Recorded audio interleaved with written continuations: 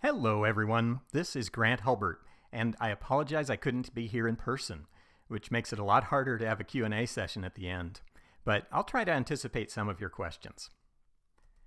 My favorite destination is a bit of a twist on the idea. It's not a physical geographic location, but instead it's one that you already have access to. And that is your giant library of unused and underappreciated photos that weren't quite good enough to show your friends. What I'll be showing you is how to reinvigorate some of those old photos and maybe discover something you hadn't seen before. So tonight we'll be talking about several Painterly software products, some of which run on Mac and PC, and others that run exclusively on the iPad. So Topaz Simplify is a Photoshop filter that runs on both Mac and PC. As its name implies, it tries to simplify details the way an artist would reduce an image to its most important parts. Topaz Impression also runs as a Photoshop filter on both Mac and PC, and it attempts to mimic specific styles of impressionistic painters, such as Monet and Cezanne and Seurat, as well as general painting styles like impasto or charcoal. And finally, Waterlogue for iPad has become my favorite, absolute favorite watercolor effect. It was designed and influenced by an expert watercolor painter who infused the product with his very realistic style.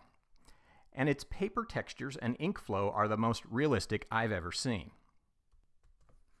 In this demo of Topaz Simplify, I'll grab a photo that I'm actually fairly happy with already.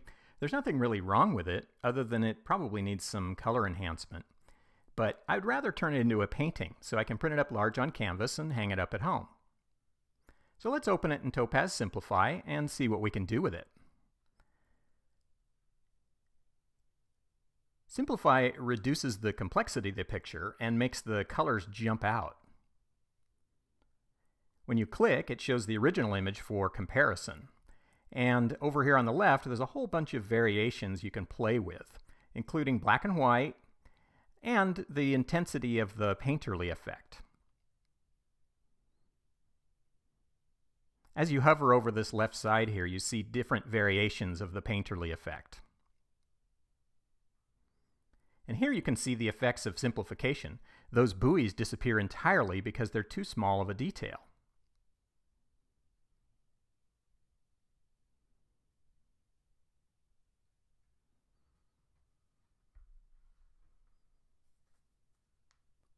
I know when I'm watching these presentations, I always wish there were more examples. So let's try another one.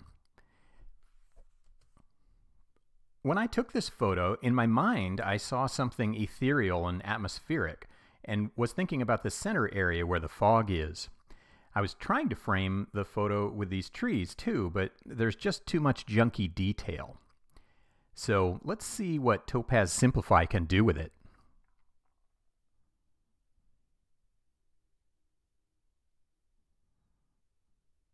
We'll pick one of my favorite settings here, BuzSim. Now notice how much more ethereal the image is now, and how the distracting details have been simplified compared to the original. Whenever I have an image that has too much organic detail that doesn't really make the photo better, I try Topaz Simplify to smooth it out. Notice the tree line detail is removed, and it's even added a darker vignette effect here down at the bottom.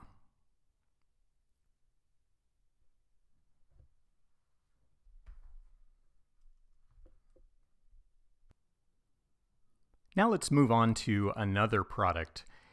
In this demo of Topaz Impression, I'm going to show you something that almost seems too good to be true. Let's use an icon size image from one of our own members on the North County Photography Society website. I'll zoom in on it so you can see just how little detail is there. So first, let's resize it to something larger. You can see here it's only 109 pixels across. So we'll make it a little bigger and then open it in Topaz Impression. Now because Topaz Impression redraws the entire image with the brand new high resolution brush strokes, it almost doesn't matter what resolution the original image was. Here, as it's drawing, you can see how Cezanne might have interpreted this image. And if we switch to some more modern impressions, such as this liquid lines, you get some really, really beautiful designs. Remember, this came from a 109 pixel wide original image. Now, back over to the masters, we see how Renoir might have painted this.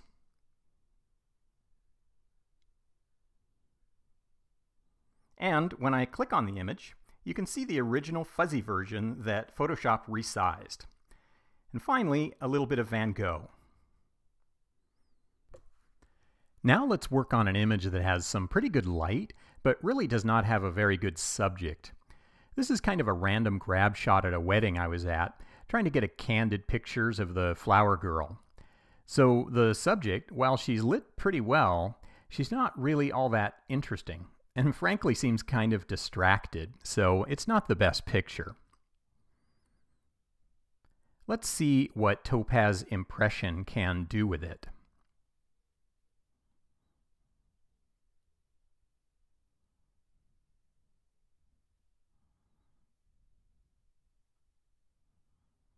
I'll switch to my presets here. And we'll wait for it to do its rendering.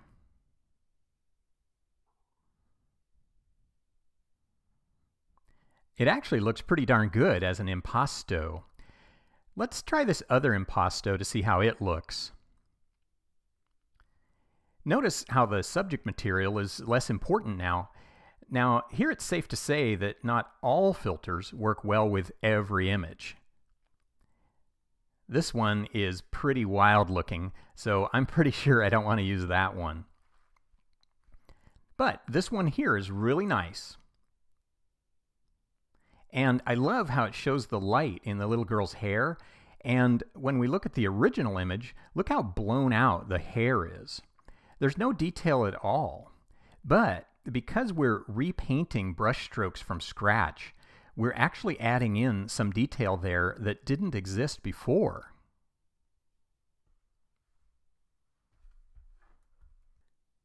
Now let's try our biggest challenge yet, a completely random photo from my library. I closed my eyes and I picked one, which happens to be an old low-resolution cell phone image of a pile of junk which I took for insurance purposes to show a house I was demolishing.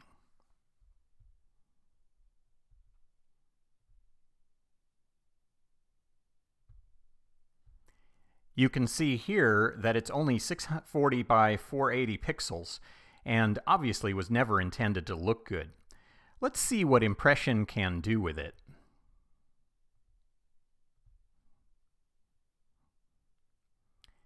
We'll open it up here and switch to my presets again. Now I've added Georgia O'Keeffe to my presets. And we'll zoom in a bit here. Now that's not too bad considering the original image really looked like nothing at all.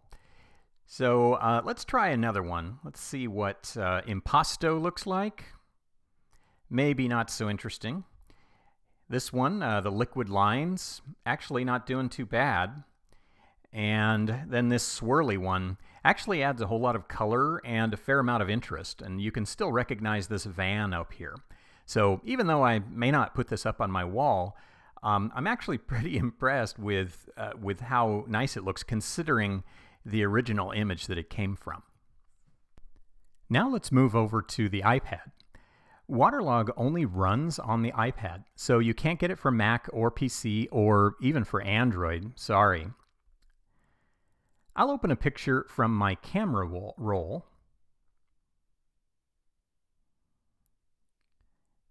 And we'll pause here so that you can see the original image. It's got okay lighting, but it's no masterpiece, and certainly it wouldn't make it onto my wall. When Waterlogue opens the image, it simulates what an artist might do. It first pencils in the rough outlines and then simulates paper texture and wet paint flow as it fills in the colored sections. I'll zoom in here so you can see the texture and the paint seepage. Across the bottom, you have quite a few options. In this case, I'll choose to make the painting lighter, and we can watch it repaint the image. I find it kind of mesmerizing to watch. Now, after this is done painting, we'll pick a different style called color bloom and see how that affects it. And as it's painting, uh, you can see it looks like the paint is much more vivid and more wet. So it seeps past the borders a bit more. I know we've been talking about a lot of different software here, so let's take a moment to talk about the differences between them so you can decide when to use each one. On this slide, I've made examples from the same photograph so that you compare them side by side. Up here in the upper left corner is an example of Topaz Impression. Notice the very strong brush strokes and impressionistic painterly effect. That's what it's really best at, uh, simulating an impressionistic era painting style, although you can choose from a lot of modern styles as well. Over here, in the upper right corner, is Topaz Simplify. You don't really see any obvious brush strokes here, and everything's a bit crisper than the other techniques. Its main job seems to be to simplify and remove extraneous details. And finally, down here in the lower right corner is Waterlogue's watercolor effect. The only thing watercolor, what that Waterlogue does is watercolor, uh, so you won't get any other kinds of effects out of it. And because it adds a simulation of watercolor paper texture, you may not even have to print on special watercolor paper but it's probably best if you do so that when people look at your artwork up close, they'll still see the effect. I'll try to think of some questions you might have. Naturally, you want to know how much these cost and where to get them. I'll show an example of the kind of photo that doesn't work well. And finally, uh, the question is, is it possible to produce professional quality high resolution files from an iPad? Now, Topaz Impression, when it's not on sale, is 100 bucks. And to me, that sounded like a lot of money at first, but I was able to rationalize it when I thought about spending about that much money each time I print on a large 30 by 40 inch canvas. So it's really not all that bad for a one-time expense. Plus, the huge number of different painters and effects uh, makes you feel like you bought something valuable. Topaz Simplify is 40 bucks, which seems about right considering it doesn't have all the impressionistic era artists in it. But it's been well worth it anyway because I've made some friends very happy by taking their photo from their website, printing it up large, and gifting it to them. It's really fun because they recognize their own work, but it's different enough to look like an artist improved on it. And finally, at three bucks, Waterlogue is a one-trick pony, but it's extremely good at what it does. Finding these products is simple. All Topaz products are available on www.topazlabs.com, and Waterlogue can be found on Apple's App Store directly from your iPad or by logging into iTunes from your Mac. Let's talk about cases where the software shouldn't be used because it doesn't make a very good looking image. I'm sure that after playing with these for a while, you'll have your own opinions. But for myself, I've found that watercolors don't work well with faces, especially if your subject is far away. I think it's because you expect to see more accurate detail in someone's face, and when it gets smudged around, it looks like bad art. Here's another example where the face is small enough that the watercolor effect just doesn't do justice to my wife's lovely face. For impressionistic paintings, you may want to stay away from photos that have details you want to show off. For instance, the birds in the middle and upper left area of this painting are just smudges and get lost in the background or even look distracting. I think Landscapes and close-up portraits hold up a lot better when they don't have fine detail.